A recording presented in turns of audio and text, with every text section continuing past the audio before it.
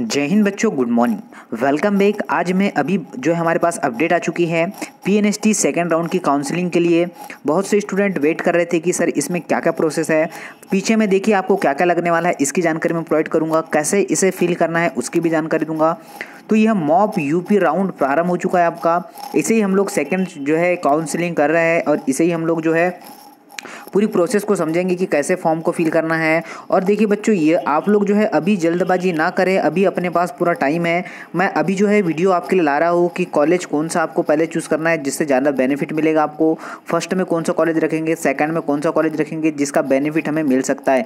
सीटे के अकॉर्डिंग सीटों वाला वीडियो किसी ने नहीं देखा होगा तो सीटें कितनी रिक्त है, उसका भी वीडियो पहले देख लीजिए। उसके बाद ही आप लोग जो है यहाँ पर क्या करेंगे चॉइस फिलिंग करेंगे।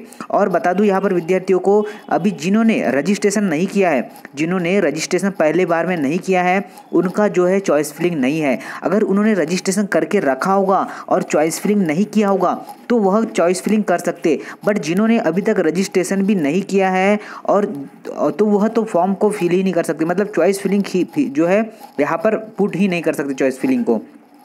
देखिए, अभी सिर्फ़ हो रहा है बीस से बाईस तक। ठीक है बच्चों, बीस से बाईस कोई भी जल्दबाजी नहीं करेगा।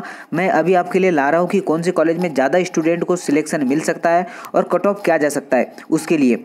तो देखिए, यहाँ पर मैं आपको बता दूँ, यहाँ पर आप लोग डुप्लीकेट जो है रजिस्ट्रेशन डाउनलोड कर सकते हैं, या तो तीस तारीख तक तो हो चुका है।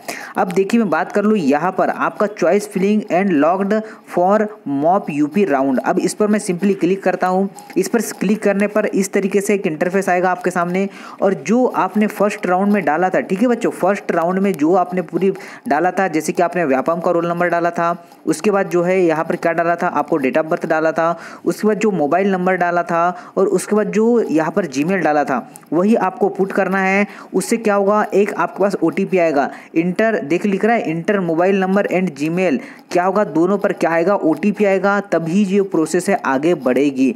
तो आपको पूरी जानकारी समझ में आ चुकी होगी, कैसे करेंगे? अगर यहाँ पर कोई भी जानकारी आपकी पहले से मैच नहीं होगी तो यह क्या होगा? प्रोसेस आगे नहीं बढ़ेगी। अब नहीं बढ़ेगी तो हम लोग इसे फॉरगेट कैसे करेंगे? इसके लिए अगर किसी को समझ से जाती है तो कमेंट सेक्शन में मुझे ज़रूर से कमेंट्स कीजिएगा।